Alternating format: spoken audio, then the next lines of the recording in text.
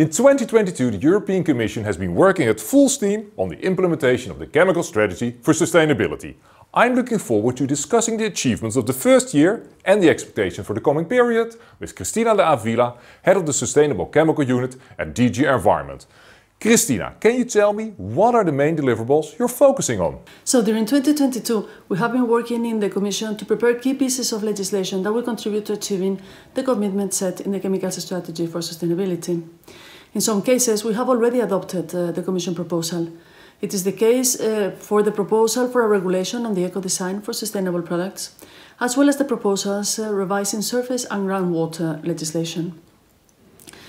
The new Eco-Design for Sustainable Products initiative, which was adopted in March of this year, comes from the political willingness to make a shift in our consumption patterns. It is very much linked to the commitments in the Chemicals Strategy for Sustainability, focusing on the consumption part of a European growth strategy. The objective of the Commission's eco-design proposal is to make sustainable products the norm on the EU market and to reduce their environmental impact throughout the value chain the take, make, use, dispose model must be avoided. It has been found that much of a product's environmental impacts is determined at the design stage. Acting at this point of the life of a product is therefore key. Under the revision of the water legislation, the Commission is proposing to update list of water pollutants to be more strictly controlled in surface waters and groundwaters. The 2020, uh, 2025 uh, substances with well documented uh, problematic effects in nature and in human health will be added to the list.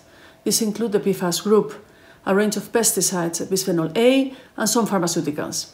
The new rules will also recognize the cumulative or combined effects of, mix of mixtures, broadening the current focus, which is on individual substances solely. In addition, standards for 16 pollutants already covered by the rules including heavy metals and industrial chemicals, will be updated.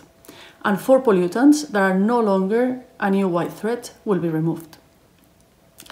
We have also finalized the revision for the classification, labeling and packaging regulation, also known as the CLP regulation, and we will be hopefully adopting this revision before the Christmas break. This is a milestone in global chemicals regulatory landscape. We are introducing new hazard classes for endocrine disruption, both for human health and environment, for persistent bioaccumulative and toxic, or very persistent, very bioaccumulative properties, and for persistent mobile and toxic, and very persistent, very mobile properties. The new hazard classes will allow us the horizontal identification of chemicals with these intrinsic properties, which will in turn allow to have a more coherent regulatory response to these chemicals across legislation. We have also advanced in the preparatory work for the revisions of important pieces of legislation, such as the Cosmetic Product Regulation or the Toy Safety Directive, and of course REACH. We are finalizing our impact assessment and are starting to draft the revision of the law. The objective of the revision is to make the law fit for purpose and to respond to the scientific evidence on the risk associated with chemicals, which has been reflected in the ambition set out in the chemicals strategy.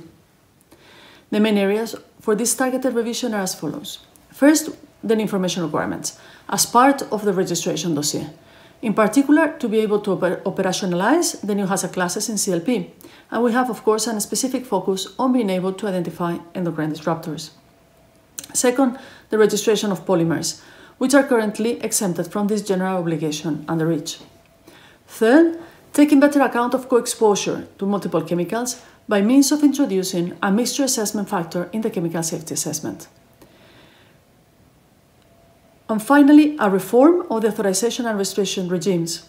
For the former, for the authorization, to simplify and streamline the system, and for the latter, for restrictions, to extend the existing generic risk management approach to restrict the most harmful chemicals beyond uh, carcinogens, mutagens, and reprotoxicants in consumer products the concept of essential use will be part of this reform. So all in all, as you can see, 2022 has been an extremely busy but an extremely productive year. It seems that the regulatory changes will bring more obligations on industry and authorities.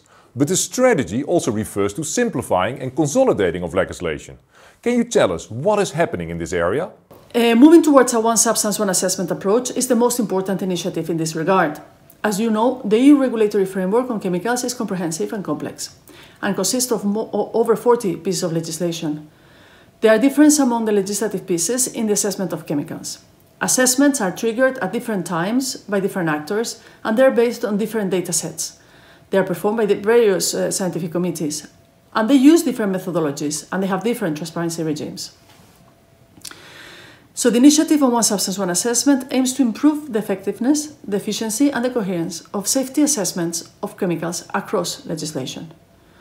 The Chemicals Strategy announced a number of actions to achieve this objective and we are preparing three legislative initiatives for the next year, all planned for the second quarter of 2023.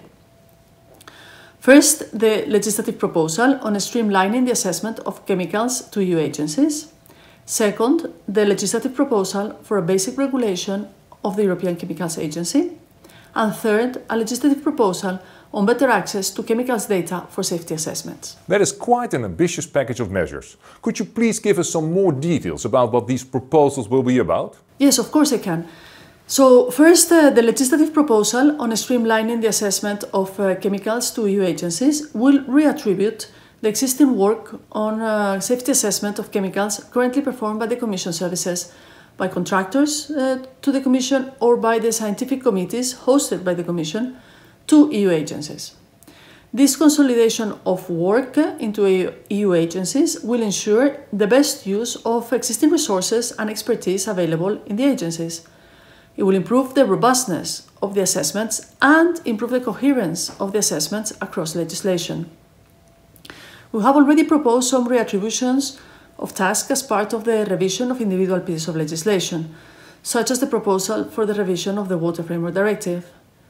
For those pieces of legislation that are not going to be revised in this Commission, we are preparing an omnibus regulation that will amend the attribution of tasks. Second, ECHA's Basic Act is being prepared to improve the governance of the agency and ensure the sustainability of its financing model. The proposal will simplify and clarify the rules under which ECA operates, optimize and rationalize the operation of ECHA's bodies and adjust ECHA's mandates to the new tasks reattributed to the agency. The proposal will also ensure the flexibility and optimal use of the combined resources of ECHA coming from different parts of the EU budget. And finally, the work on the legislative proposal on better access to chemicals data will look into four key aspects. First, we will establish some IT tools for sharing data and information on chemicals and broaden some existing ones to cover all pieces of legislation.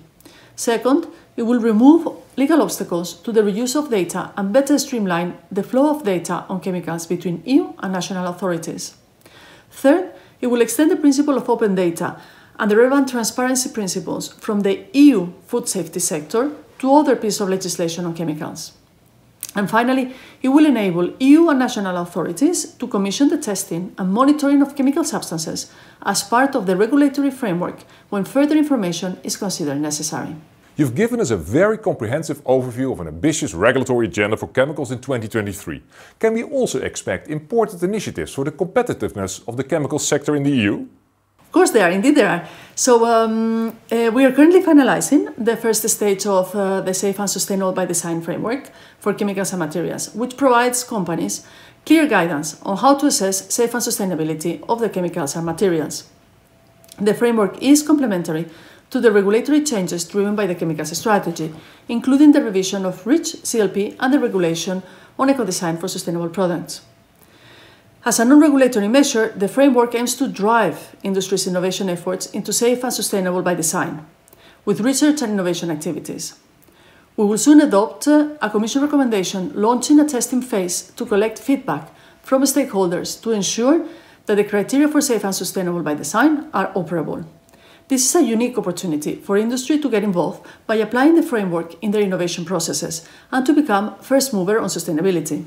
That sounds very interesting and a great opportunity for industry to shape the future criteria to determine what are safe and sustainable chemicals. From your side, in the European Commission, will you support industry? Yes, we will. We will support industry in the testing processes by providing methodological guidance and collecting feedback on the experience gained in the framework application. This input will serve for the revision of the framework and for the definition of the safe and sustainable by design criteria.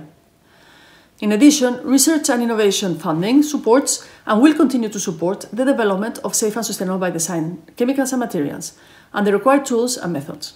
The Commission pro proposed in October 2022 a research and innovation plan for chemicals in order to mainstream the objectives of the chemicals strategy across funding instruments and support the industrial transition to safe and sustainable chemicals. We would also like to invite research and innovation funders across EU, national and private funding programs, as well as researchers and innovators to support this strategy and to contribute to its implementation. When and how can industry and other stakeholders apply for these innovation funds? The Commission is about to adopt the Horizon Europe Work Programme for 2023-2024. I strongly encourage industry and other stakeholders to get involved in the Info Days for Horizon Europe, during which the Commission will present the 2023 calls. The participants will have the opportunity in these Info Days to ask questions on what's new and learn how to draft successful proposals. Moreover, there will be brokerage events that will be dedicated to consortium building. I encourage everyone to check the Commission's website for the exact dates, uh, exact dates for these info days and for the different clusters of Horizon, uh, of Horizon Europe. We see in the strategy that the EU describes itself as the global leader. Are there any initiatives on the global front? Well, there are for sure, Tjeerd. As I mentioned before, we have been working on the inclusion of new hazard classes in the classification, packaging and labeling regulation, of course, this regulation implements at EU level the UN Globally Harmonized System for Classification and Labeling of Chemicals, the UNGHS. We are therefore bringing to the UN level the need to include these new hazard classes also under UNGHS and proposing that this is included in the work program for the next biennium. We are also starting to work on how to implement the commitment in the chemicals strategy that chemicals that are banned to be placed in the European market should not be allowed for production for export. We are in early stages and I cannot say, say too much, albeit our initial plan is to be able to deliver as foreseen in the strategy by 2023. And finally, maybe it's also worth mentioning the work that will be done to establish the Science to Policy panel under the UN Aegis. We are starting preparations now, and I can assure you that the EU will be an active contributor to this work. Cristina, thank you very much. It's great to see that the Commission really acts on the promise to be a global thought leader. I'm already looking forward to the contribution of the Commission at ChemCon the Americas 2023 in March in San Francisco.